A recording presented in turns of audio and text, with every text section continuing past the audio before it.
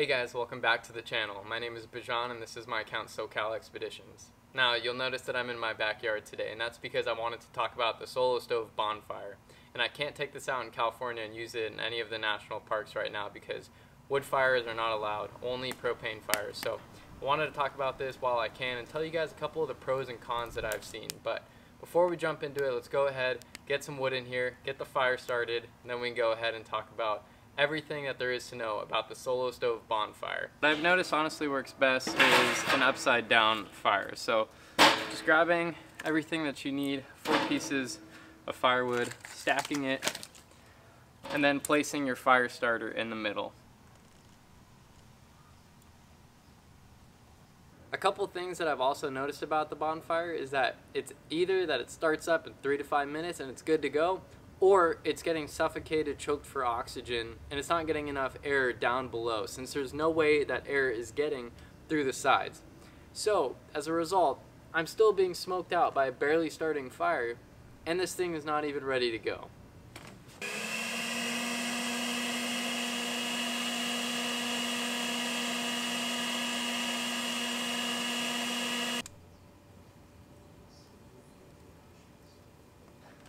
So as I was saying, sometimes it's really easy to get this fire going, and then other times it's literally like that, where the wood's not dry enough, if it's not the perfect conditions, and if your fire starter is not igniting the wood, you literally need to blow air into it and get oxygen going because again, the sides are keeping any oxygen from coming in. So that's one of the drawbacks that I've had personally with this, and especially trying to gather, gather wood from around my campsite and use that to burn, especially if it's a little bit wet or moist, it's nearly impossible to get this thing started. Another thing I always get asked about is how is the heat output? Is this something that's going to be comfortable when I'm sitting out there in 40, 50 degree weather? And I'm going to tell you, yes, as long as you have boots on with good socks, because if not, you're not going to be feeling any heat down in your feet at all. So yeah, I live in California and most of the time it's warm, but I want a fire pit that I can bring with me when it's cold outside. And unless I'm standing, I'm not really feeling that heat. So at this position right here, sitting back, I can feel a little bit coming towards my face and I do feel my upper body being warm. But anything below my ankles, my shins, my knees, nothing at all. So even if I touch down below here, this is cold to the touch. Yeah, if I start coming up, it gets a little hotter, but down here is very, very nice and cold. So unfortunately, you're not going to be keeping your feet warm. And that's something that I wanted when I was going out camping. I want something that keeps my feet warm because I'm sitting there usually cold and that's why I have a fire. So this isn't exactly what to buy if you're going out camping and you want to keep your feet warm, you want to keep your knees warm, you want to keep your ankles. This isn't the right stove.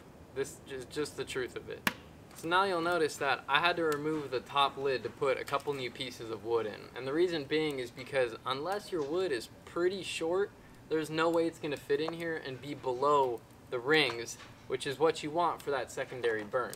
And I will say it does do a secondary burn whether or not that the top ring is on here or not, but you still want your wood to be below these lines right here.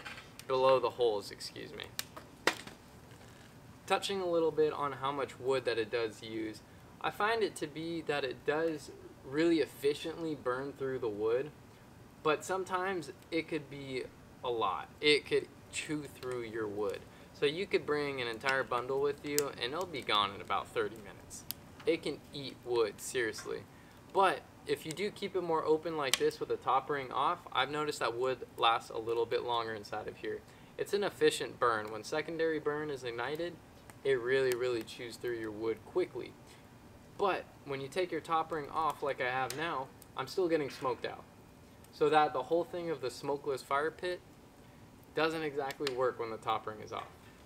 Another thing that I've noticed is that whenever I take this camping, I never want to use it in the morning because if I have to pack up and leave camp, I have to wait for this thing to cool down. And on average, it takes around 30 to 45 minutes for it to fully cool down and be at a temperature that I can touch it, flip it over, and dump all the ashes out without igniting an entire forest fire. And speaking of forest fires, I can't use this in California for about six to eight months out of the year. That's when the brush is too dry and they completely ban wood fires. as this thing begins to heat up and get extremely hot, again, from my, about my knees up, there's a couple other things that I like to say when it comes to cooking on this thing. I don't exactly recommend cooking on it because if you do, you're most likely going to burn the living crap out of your food and it's just going to be black. And that's the truth of it because this burns hot and it burns straight up. So unlike cooking on a regular open fire where you can kind of tell what it's going to be like, this is going to cook extremely fast, extremely hot, and unless you're really careful, your food's going to be burnt very, very quickly.